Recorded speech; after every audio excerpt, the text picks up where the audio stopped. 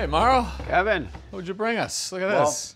here's a story about this piece of furniture. I'm working for this client, which we do a lot of work. And she has this piece of furniture sitting down in the basement, doing nothing, all right? And she asked me if I could uh, throw some paint on it for her. I said, yeah, let's do it. Yeah, I mean, already painted, although not very well. They didn't, they didn't finish it all, right? And I mean, who doesn't have something like this kicking around in the basement or they find it at a flea market?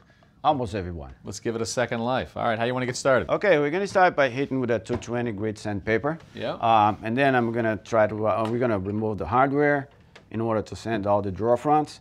Um, and then we'll be ready to prime and paint. All right, let's get these out and I'll give you a hand. Is this one going to come out or is this stuck in here? Uh, I think that's fixed right there. It doesn't come out. All right, we'll leave that in there.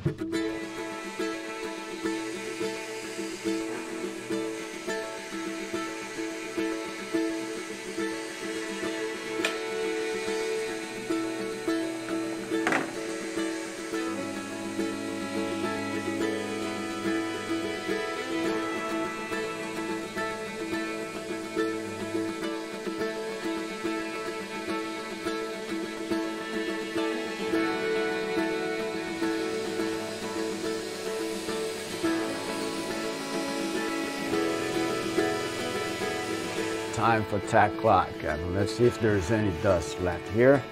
Tack cloth will take care of that. Make sure that all the little tiny particles come off. Time to prime. Just a basic primer, just a latex. Well, what we're using here, Kevin, is a water-based primer. You can also do interior and exterior. Yep. Yeah. We're gonna uh, apply it with this uh, mini roller, which is four and a half inch long by three eighths roller nap. No brush, huh? You like the roller? Roller will give us a nice and smooth finish, a good foundation for the top coatings that's coming up right now. The roller works great on these drawer fronts. And the other thing too, so we can get a lot of work done with those mini rollers. Love them. Does this primer have a color to it? Yeah. A little tint? Full, just like a, a gray primer that you can use under any dark finish coatings. That can save you a lot of time and money. All right, Mauro. Looks so much better already. Looks awesome, yes. Uh, well, we're almost there. Let's wait for about two hours for this primer to dry, and then we'll be ready to top coat. Right, our primer is dry, so we're gonna use this acrylic interior paint. Yep. We're gonna have a different technique this time, Kevin. We're applying the paint by roller, and then we're gonna back brush. Oh, really? Yes, so, For what purpose? well, homeowners wants to see some brush marks on it. Ah, okay. So, and that's the good technique to get it done. So that's just going to be for the look, right? Yes. Okay. Ready to go here? Just regular interior latex paint. Acrylic paint, yes. Now I know why you used the tinted primer. See, it's all about the coverage. So as soon as we paint, we use the roller with the first coat. So we're just gonna be back brush, just like that.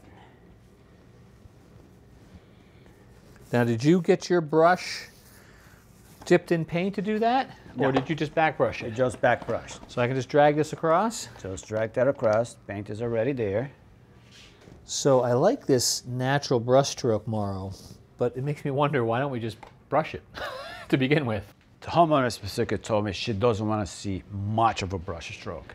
She wants to see just a very light and subtle brush marks, just a little bit. If we, So all brush would give us too much brush stroke. absolutely, yes. Combination of the two, just the right Combination of the two will give like a, a very, very fine brush marks. What color are we working with here, Mauro? This color calls naval blue. I like it.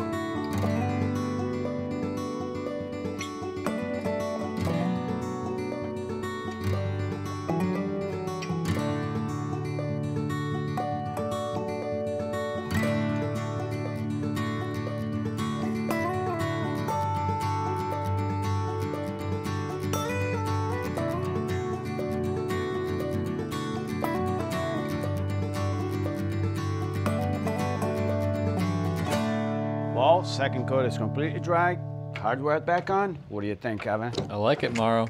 It's a nice big pop of color. And I gotta say, that brush stroke, it does actually make all the difference. It looks sort of natural, a little antiqued. Yeah, there's some character, this old piece of furniture that came out nice. A little bit of work, a little bit of paint. Here we go. Nice job. Thanks for watching. This Old House has got a video for just about every home improvement project, so be sure to check out the others. And if you like what you see, click on the subscribe button to make sure that you get our newest videos right in your feed.